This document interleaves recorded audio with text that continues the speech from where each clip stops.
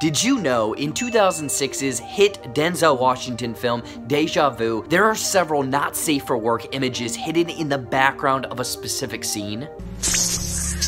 So if we jump to the scene where Denzel is talking with the detectives, notice a handful of the computer screens in the background. For some reason, there are scantily clad photos all throughout this scene hidden on the computer screens in the background, each only appearing for a handful of seconds and then moving on to the next. Does this mean something? Is it subliminal messages? More than likely, it's an Easter egg that the editors put in to be cheeky